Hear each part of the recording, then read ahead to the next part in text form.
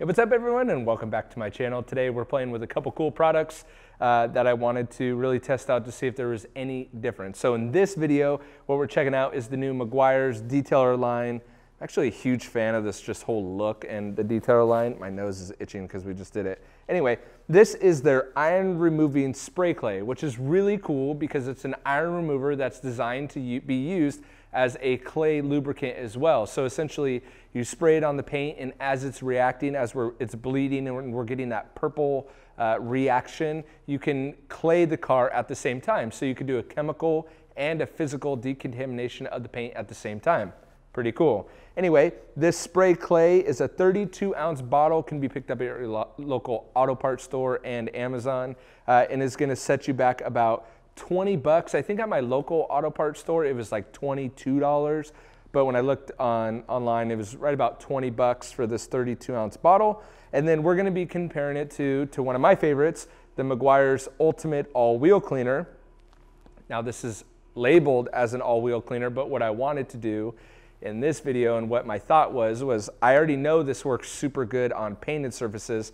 How well does it compare to this? because this 24 ounce bottle, that's right, 24 ounce bottle on Amazon is gonna set you back about 13 bucks. But when you go to your local auto parts store, at least at mine, this was about $8 or $7.99. So eight bucks compared to 20, though you get a few more ounces. Was that like six more ounces, eight more ounces, eight more ounces, but it's like triple the price, double the price, a little bit more.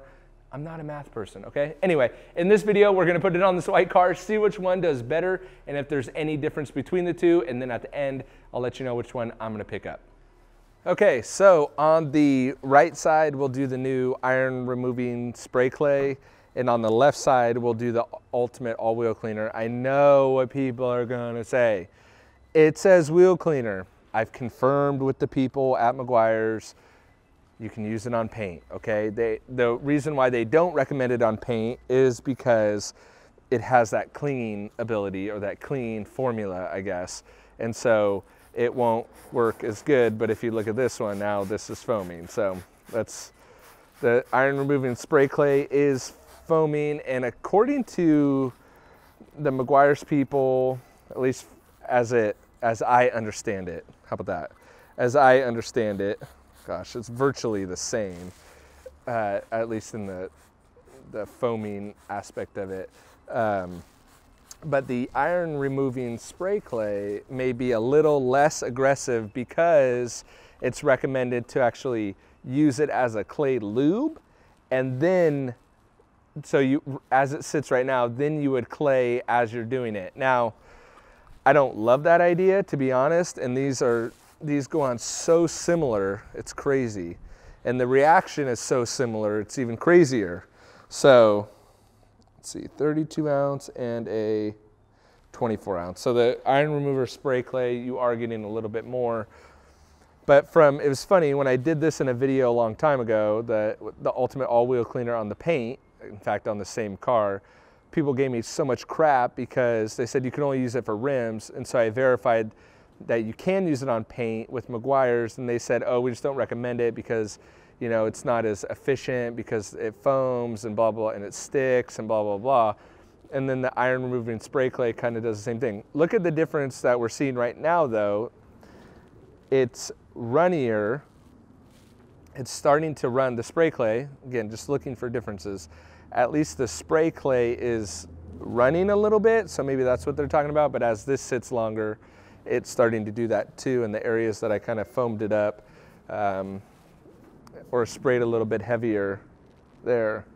I don't, I mean, man, that is so hard to tell, so close to see if there's any difference as far as how it's reacting. I wonder if we spray a little bit more on each side if we're gonna get a difference. Let's do a dual spray.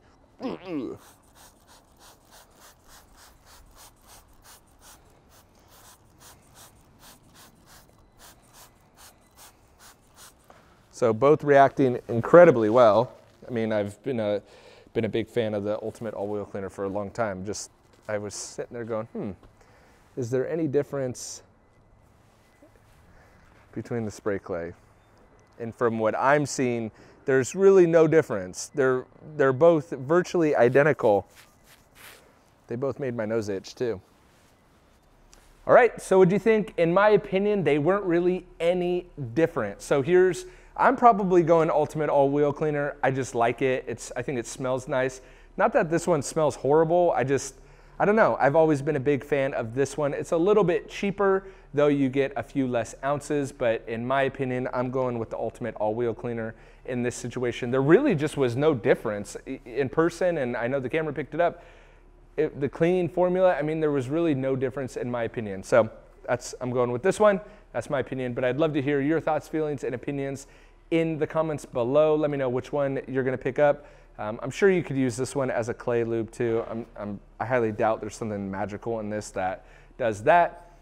Anyway, I hope you guys enjoyed this video. Don't forget to hit that big red subscribe button on your way down to the comment section, and I will catch you guys in the next video. See ya.